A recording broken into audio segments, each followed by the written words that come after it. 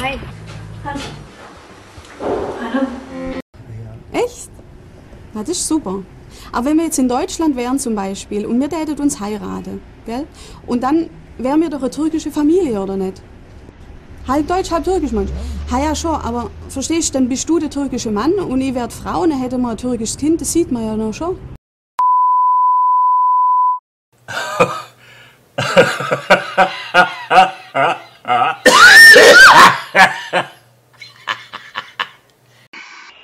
Du hast Lust auf knackige Erdbeeren?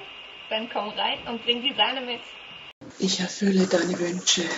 Besuch mich im Chat und lass dich überraschen. Alina arbeitet hier nicht mehr.